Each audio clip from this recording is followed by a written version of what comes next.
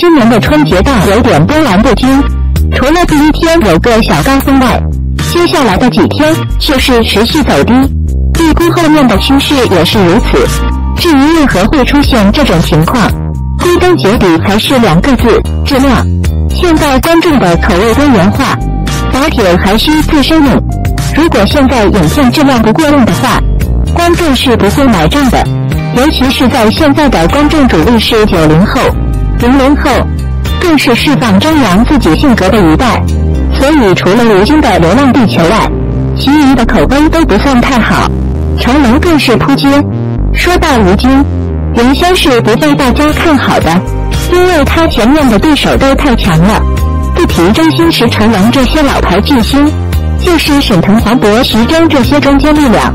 任何一个都不逊色如今的号召力。果然，票房也印证了这一点。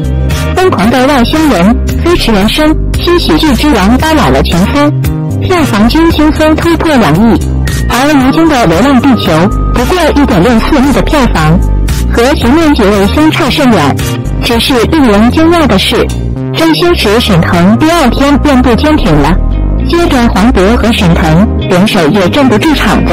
一众大片纷纷落下，去年的时候还有《唐人街二》和《红海行动》打得不亦乐乎，今年早早便分出结果，大大出乎了观众意料。沈腾、黄渤、周星驰、成龙一众巨星后继乏力，原本最不被看好的吴京却是弯道超车，逆势胜扬，大大满足了一众吃瓜群众的心理。不得不说，吴京的眼光是非常毒辣的。科幻片一直不是我们的强项，国内以前有拿得出手的作品，一些作品披着科幻的外衣，其实不过是为了骗取流量罢了。像《未来警察》《不可思议》等等伪科幻，把观众坑惨了，这也是大家开始不看好如今的原因。但是金子总会发光的，经过几天的口碑发酵，《流浪地球》逆势上扬，生生把疯狂的外星人。《飞驰人生》新喜剧之王踩到了脚下，可以说《吴京》这部片为国内科幻片开了一个新的道路。也许很多人会说，这部片子大火跟吴京关系不大，但仔细分析一下，吴京在其中占了很大的分量。刘慈欣固然是国内一流的科幻作家，但是把文学作品转化成影视作品，却不是他所擅长的了。而且科幻在国内覆盖的人群还相对较少，读者群也没有能力把影片捧这么高。如今《战狼二》创造了五十多亿的票房神话，自身的流量就很可观。虽然现在相较沈腾、黄渤、周星驰差点，但是比其他人却要超出一大截。《流浪地球》除了吴孟达影响度大一些之外，其他的并不是很出名。所以，吴京的参演足以给这部影片带来了关注度。其次，这部影视中途有人撤资，剧组资金一度紧张，甚至连拍戏的服装和道具都要从隔壁疯狂的地球人借。导演和吴京商量之后，吴京大手一挥，带来了六千万的入资，这才使得这部影片拍摄完成。所以，如果不是吴京，我们今年可能看不到这部经典作品。又成为烂尾作品的可能，我们不得不再次感叹吴京的眼光真毒，六千万说拿就拿了。现在的票房也证明了吴京的正确性。估计撤资的那伙人现在肠子都悔青了。当然，吴京的作用是明显的，观众买账，影院愿意给排片，这影响力都是无形的财产。但是其他演员的用心表演。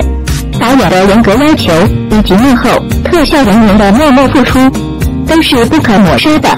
正是因为这个团队的上下一心，才给我们带来了这么震撼人心的作品。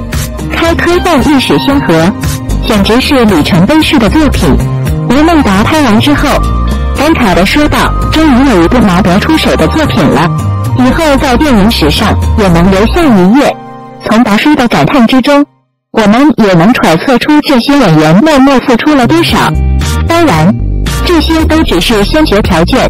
但是才开始的两天，《流浪地球》票房确实不如沈腾、周星驰，主要是受制于排片数量。不过经过几日的口碑发酵之后，大家对这部作品赞不绝口，口碑相传是最好的宣传，影院也逐渐加大了排片数量。现在为止，《流浪地球》已经反超沈腾、黄渤的《疯狂的外星人》，票房到达了九点五亿，和后者的差距也在一点一点拉开。有人预测，《流浪地球》票房超三十亿是稳稳的了。如果能更进一步，票房超过五十亿，再加上前面的《战狼二》，无间足以封神，当之无愧。吴京的成功也给了我们许多启示。现在电影市场大好，巨星大腕随便拍拍都有几亿甚至十几亿的票房，但是到了最后，大家拼的还是故事内核用不用，靠情怀和号召力，真不是长久之计。真心石成龙这些老牌巨星便是实力，吴京票房夺冠四已无疑虑，但票房最终能超过五十亿，足够吴京封神吗？欢迎大家讨论。